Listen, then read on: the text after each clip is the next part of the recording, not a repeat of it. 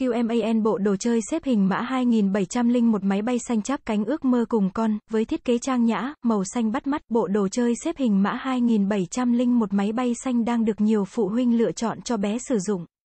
Bên cạnh đó, thương hiệu Quimần còn uy tín khi ra đời nhiều dòng sản phẩm vừa an toàn cho sức khỏe vừa phù hợp về giá cả khiến cho việc lựa chọn đồ chơi cho con yêu của các bậc cha mẹ trở nên dễ dàng hơn bao giờ hết.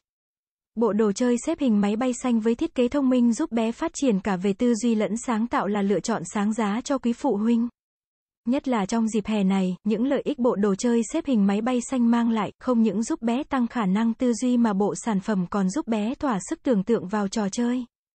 Qua đó tăng khả năng sáng tạo không ngừng nghỉ của trẻ nhỏ, dưới sự hướng dẫn của phụ huynh sau mỗi lần chơi. Bé yêu còn biết được cách dọn dẹp các món đồ chơi của mình, giữ ngăn nắp cho nơi ở, phòng ngủ, thiết kế và chất liệu của sản phẩm. Bộ sản phẩm được thiết kế bên trong bao gồm 111 miếng ghép tạo nên mô hình cuộc chiến tại chiếc máy bay xanh, bao gồm máy bay và các nhân vật figure. Bộ mô hình với màu xanh tươi sáng, sinh động càng tạo nên cảm hứng cho trẻ nhỏ khi chơi, sau khi chơi xong, mô hình có thể bỏ lại trong hộp và cất giữ gọn gàng và chỉ nặng vỏn vẹn 100 gram. Chất liệu như ABS đạt đầy đủ các chứng nhận 3C, IN71, ASTM, SA4040 và đảm bảo an toàn cho bé khi sử dụng, xuất xứ sản phẩm.